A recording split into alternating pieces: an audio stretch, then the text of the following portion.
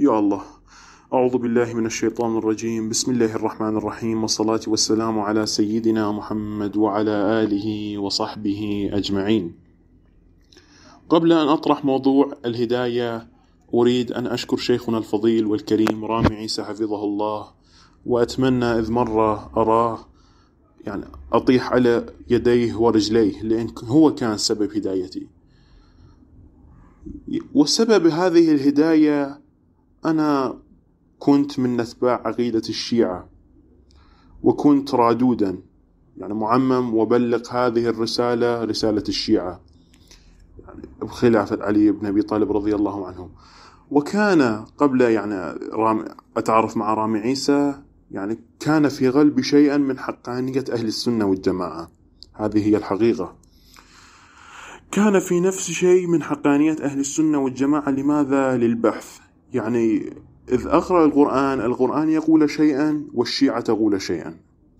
بعنوان المثال الشيعة تقول أن معاوية رضي الله عنه قتل عائشة وعائشة رضي الله عنها قتلت عثمان والطلحة والزبير قتلوا عثمان يعني كان عداوة ما بينهم. ولكن القرآن الكريم يقول بسم الله الرحمن الرحيم. محمد رسول الله والذين معه أشداء على الكفار رحماء بينهم. يعني ما بينهم رحماء. القرآن الكريم يقول هم رحماء بينهم والشيعة تقول هم عدواء بينهم. فنصدق كلام من؟ يعني هاي كانت من التحركات اللي تحركت في صدري على البحث.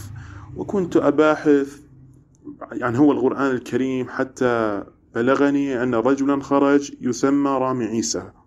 وهو يباحث المعممين وكذا وهم يعني يعني ما صار مرة اللي هو يهرب. يعني كل وقت المعممين لو يهربون لو يسبون رامي عيسى حفظه الله. وأنا بنفسي أعتذر منه من هذا التوهين القبيح. ويعني قبل هاي أنا أطلب من الشيعة أن تبحث عن الحق وكل شيء إذ قاله المعممين لا يقبلونه. ويتباحثون ويسألونه يعني لماذا تعبدون عليا دون الله جل وعلا؟ لماذا عليا معصون لماذا علي بن أبي طالب رضي الله عنه تزوج ابنته أم كلثوم لعمر بن الخطاب رضي الله عنه؟ وها يعني هذه الأسئلة أسألونهم يعني لماذا كانت هذه الصحبة والشيعة تنكر الصحبة؟ ما بين الصحابة وآل البيت. نسأل الله من كل الشيعة الهداية والسلام عليكم ورحمة الله وبركاته.